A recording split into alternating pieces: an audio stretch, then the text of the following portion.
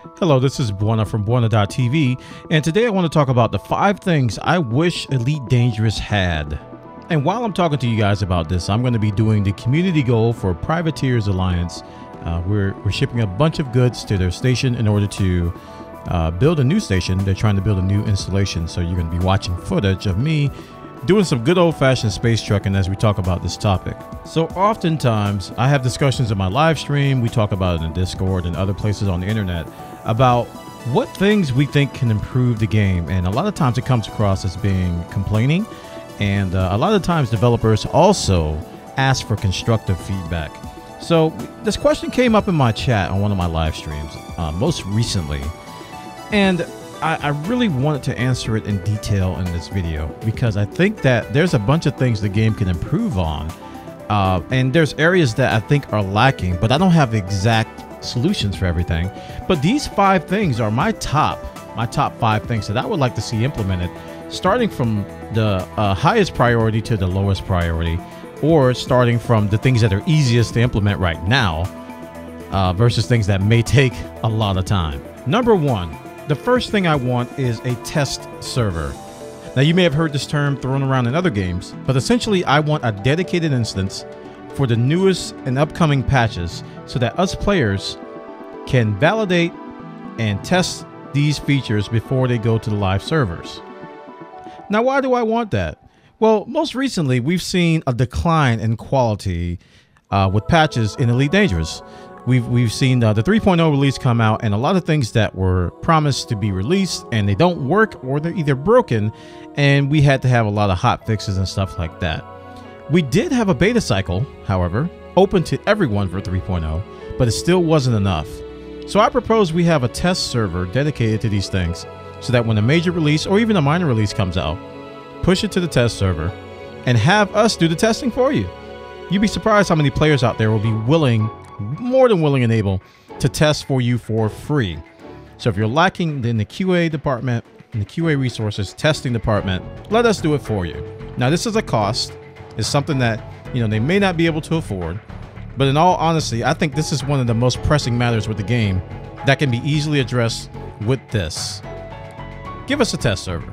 Number two, I would like to have more social tools such as guilds, corporations, or any type of group activity in the game.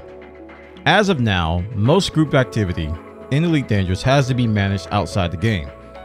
Whether you're using Ventrilo, whether you're using TeamSpeak, Discord, or any other social medium, forum, IRC channels, and the like, we always have to go outside the game in order to coordinate with our player groups and or player factions.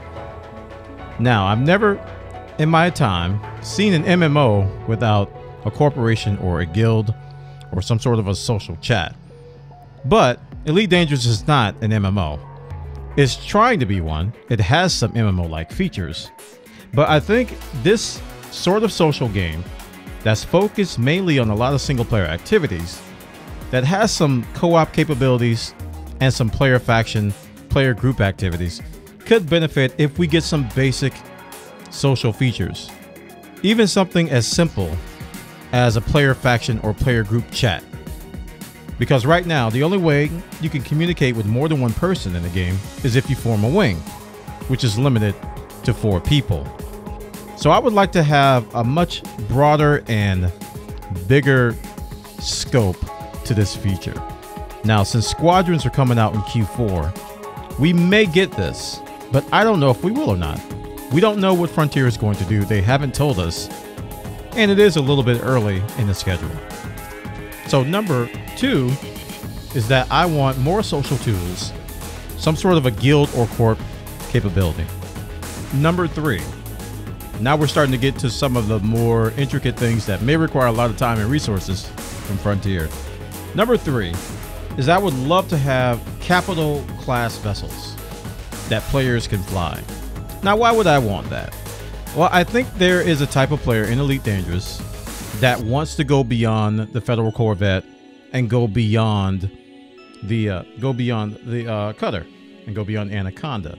And I think there's also a class of player out there that would like to manage something that has an extremely high risk. Now, I'm a former Eve player. Well, not former. You never really leave Eve. You just take a break. And you know, we had we had Titan class ships and we had the you know the fax machines and you know a lot of a lot of expensive, really high risk ships that a lot of veterans take pride in owning. And when you lose one, it really, really, really hurts. I think Elite Dangerous right now has sort of an issue with risk reward in the game. So I really, really think we need something with a high risk and high reward, such as a capital class vessel. Now, it doesn't have to be the capital class ships that are currently being used. Maybe squadrons, when it comes in Q4, will give us something similar to that. We want something to build. Well, I should say, I want something to, to, to build and to spend my billions of resources on in order to, you know, add some more risk to the game and add some more value to my my net assets. Because as it stands right now, you hit a cap with uh with with the Corvette and with the cutter and the upkeep of those ships. Because that's what you're typically grinding for in Elite Dangerous in-game. You're grinding to upkeep those bigger ships with the expensive modules. You don't really need to grind to buy, you know, more ships at that point. You're just trying to maintain which is a very, very common argument that, you know, the grind required to maintain those bigger ships is a little bit unbalanced based on what it takes to get to that point. And veterans do want some sort of a, you know, easier way to earn credits if you have the status. That's a separate topic. I just want something else to invest in beyond the big three. Something else that I could lose beyond the big three. Something to give me an incentive to say, hey, I need more credits. Give me an incentive to grind other than maintaining the ships that I have. Give me something else to strive for. Number four. Number four, I would like, and this is my my biggest one actually, but it's probably gonna take a lot a lot of resources from Frontier Developments. And that is I want a retooled MMO-like infrastructure. Now, what do I mean by that? That's a bunch of words to just basically say I want to be able to do more than what we can do right now with multiplayer. I don't want to be limited to, to 64 players or however, however many it is. I don't want to be limited and constrained to try to get so many people into the same instance. I want this game to be an MMO. I want the netcode to be rewritten and I wanted to support hundreds, maybe 200s, maybe 500 players for instance. Because to me, that would put the game into a not only a different category of of of, of uh, a video game than it is right now, because I agree that the game is currently more a simulator than it is uh, a multiplayer game.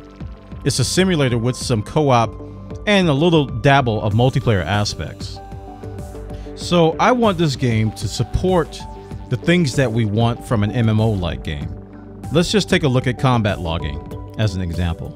When you go into open, you have these people who decide to alt F4 or kill the process instead of logging out normally when they get into a pinch. So they get into a PvP match, somebody interdicts them, and they don't want to lose their pretty ship, and they kill the process. And this is a big problem that's plaguing the game. The current infrastructure of the game really doesn't allow Frontier to prevent that.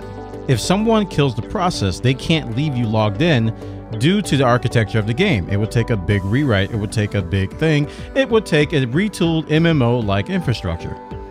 Because let's face it, if you play an open and you PvP, you know that combat logging is a big problem with the game. People feel that they can get away with losing, I mean, with not losing their pretty ship, so there's really no risk. If you get pulled over, if you get interdicted, you just kill the process and nobody will do anything, apparently. So, given you know, things like number three, where I wanted more high risk, high reward things like capital class vessels, if we can put on top of that a retooled MMO like infrastructure that could handle this situation and leave you logged in, have a dedicated server, not use peer to peer, have a dedicated server that leaves you logged in if you kill the process. So if you do, you lose your ship anyway. And this leads into a lot of other side categories like, you know, how open solo should work. And obviously, if you do have an MMO like infrastructure, you won't have things like solo and private and open. You will just have a server. So this is something I want. I, I do realize it's gonna it's a major undertaking, which is going to lead into my next point. And that is number five. I want an Elite Dangerous sequel. Uh, hear me out. hear me out. I want an Elite Dangerous sequel.